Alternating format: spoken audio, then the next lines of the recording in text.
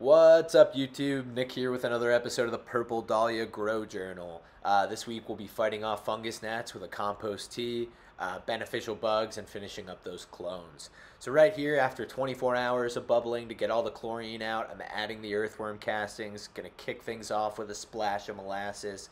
As you can see, plenty of oxygenation, uh, and really uh, the basics around this is the earthworm castings add the microbial life, the sugar acts as a food source, the bubbling uh, adds oxygen to the water and makes it a rich environment for multiplication. As it brews, you just want the microbial life to increase exponentially. And then you can add them to your plants. So now I'm adding a tablespoon of radiant green. This is about 12 hours after adding the earthworm castings and the molasses. Stirring it up real nicely. Uh, and I'll also be adding some fat flowers from Dragonfly Earth Medicine. Big fan of their company. Uh, you know, the two owners are super nice and they make an amazing product. Uh, and then I let this bubble for another, you know, six to eight hours. Could have let, really should have let it go a full 12 uh, according to the fat flower instructions before adding these to the purple dahlias.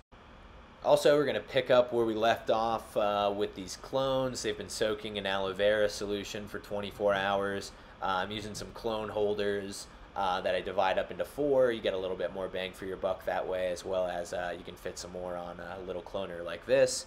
Uh, and as you can see, I'm being careful to label each one. I've taken three clones from each plant for redundancy. That way, you know, we're guaranteed, uh, well, certainly not guaranteed, but much higher chance of getting a clone to the finish line. I uh, like this technique here. Uh, just took a Tupperware container, drilled some holes.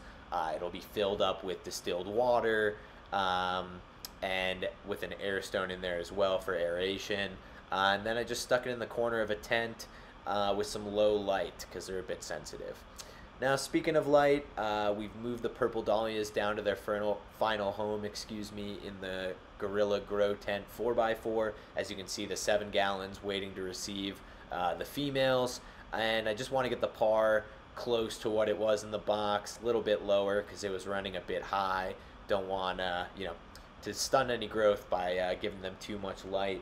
Uh, so trying to get it dialed in, moving the plants around, moving the lights around, uh, and also a little update on the fungus gnats. Last week they were brutal, uh, and uh, finally we had those beneficial bugs come in from Build a Soil. Uh, I know they've been slammed. A lot of people ordering growing products during this time of quarantine. So definitely appreciate them getting these out here. Rove beetles, predatory mites. Right now I'm adding the mites. they come in these big bags and this time I saw the Rove Beetles moving around. So, uh, you know, they're definitely alive and kicking. Bad news for the fungus gnats. Uh, and as you can see here, uh, just dumping a little bit onto each plant. Uh, I bought some bigger bags and, you know, I hit all the cover crops, all the plants, uh, even some of the edibles I'm growing like lettuce. And that way, you know, there's no refuge for these fungus gnats to hide. And I uh, can really have them on the run and I was pumped. Even just a few days after applying these beneficials, uh, you can see from the new sticky traps I set up that it really made a dent. Uh, even after three days, set this up on the 9th, it's now the 12th, uh, you can really see it took a big bite out of their population. I added the compost tea. As you can see here, the plants are looking super happy. My bad for not recording that. Got a little bit too high and spaced. Only realized after I had applied it that I did not film it. But plenty more compost tea to come, so don't worry about that. Definitely add that to another episode. And uh, that's all we've got this week. So don't forget to hit that like button. Don't forget to subscribe. We've got the playlist here in case you've missed any of our uh, previous episodes. And this week in the bong, I've got some Panama Red I grew last year. Uh, really been loving this strain. So here we go.